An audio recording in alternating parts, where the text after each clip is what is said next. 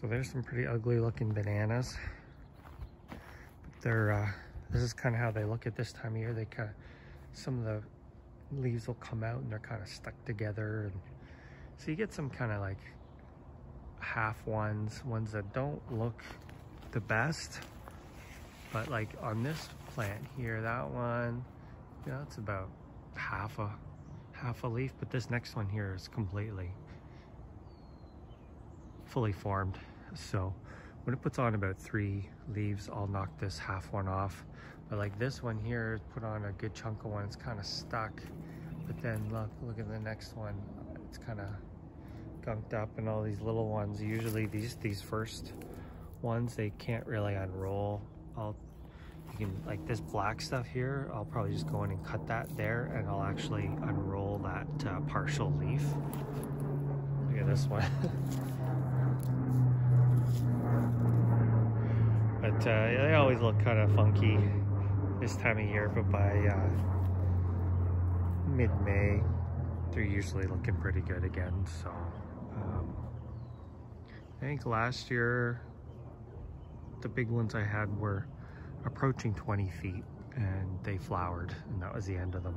But I have a lot of ones, like these ones are already, that's just, that's six feet high to the top of that there. And then there's the, you know, the leaf on top of that. So these two here will be pretty big bananas, uh, most likely flower. But then I got these ones all down here. And then so next year, these will be the big ones. So I'm finding I'm getting about three years. Uh, if they're in optimal conditions, about three years before they flower. Um, but you always have so many pups. Uh, I planted, uh, I think I planted, geez, I can't remember it was two or three back here. At the moment, there's uh, eight, and then there's a whole bunch of pups that kind of got zapped to the ground that will be uh, making an appearance soon. So. give them lots of water, lots of nutrients. Bananas are heavy feeders. Um, I use a product called Banana Fuel, so I'm probably going to start watering them with that Banana Fuel here shortly, just to kind of kick, get them kick started.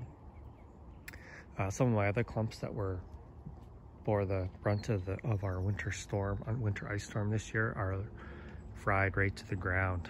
Um, there, I have one particular banana that's a, a really big one, and it's showing no signs of life. So I don't know if that one uh, is going to come back, but all the pups around it are looking good.